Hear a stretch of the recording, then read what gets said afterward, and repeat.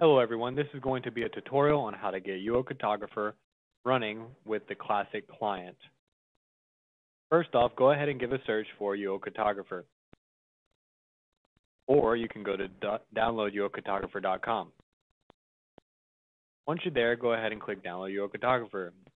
There'll be a couple of files to be able to download as UO Cartographer, the labels, and missing MUL fix. Go ahead and download UO Cartographer itself and the missing MUL fix. First off, go ahead and run UOC setup.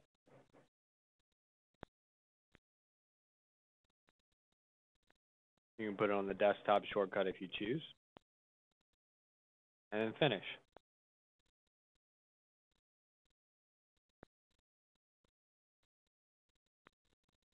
Once you do that, go to All Programs, find UO Cartographer, and run UO Cartographer as administrator.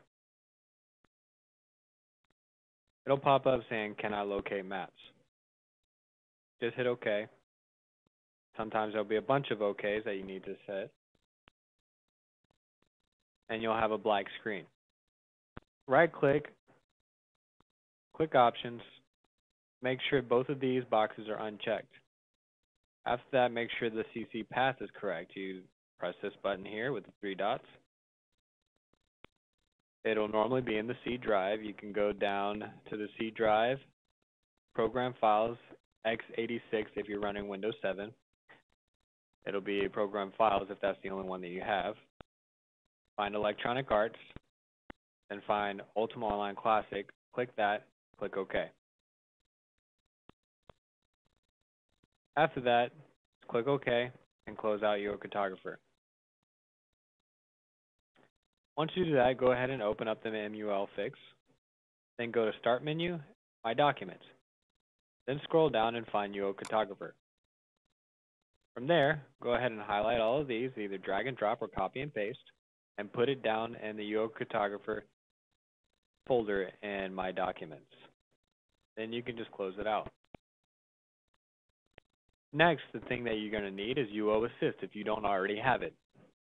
UO Assist, you can either purchase it or you can run the free trial, and the trial is unlimited. It lasts forever. It just depends on what you can do with UO Assist.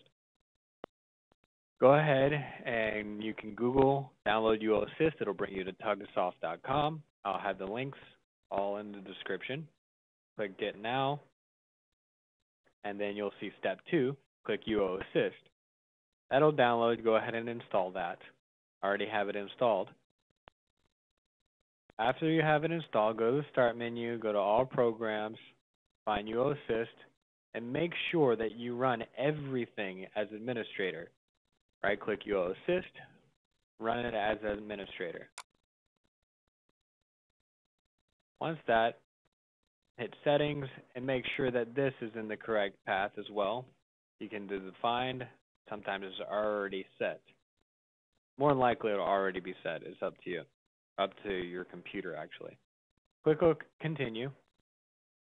Then Ultima Online will start the patch. Click play as you would normally start up the game.